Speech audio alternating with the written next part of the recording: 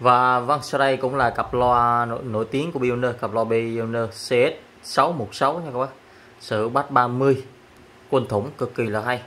Và cũng thể, không thể thiếu những con ly ghép với nó. Đây là một con ly rất là nổi danh của đời nông 890D. Là một model có tích hợp giải mã DAC rất là tuyệt vời.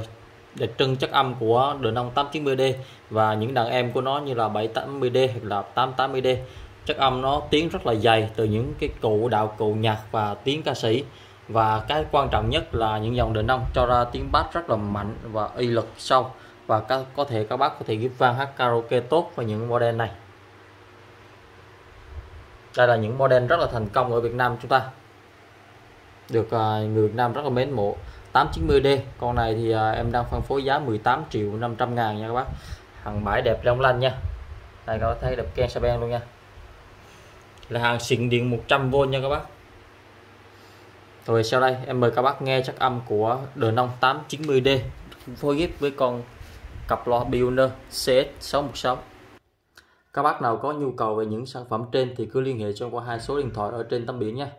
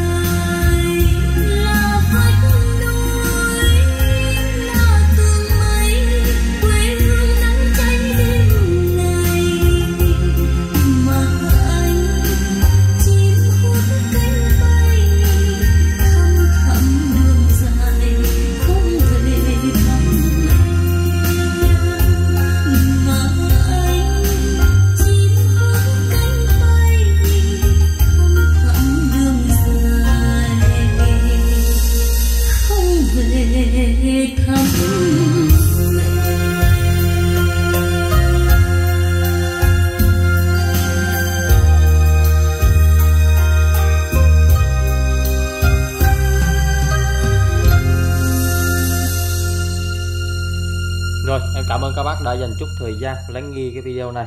Và các bác nào chưa đăng ký kênh thì hãy ấn vào nút đăng ký kênh để luôn được cập nhật những video mới nhất. Mọi chi tiết các bác cứ liên hệ trực tiếp cho em qua hai số điện thoại trên để chốt những sản phẩm như là cặp loa hoặc là âm ly những sản phẩm thiết bị à, hàng bãi tuyển chọn về để phục vụ các bác là những sản phẩm à, đẹp nhất theo tiêu chuẩn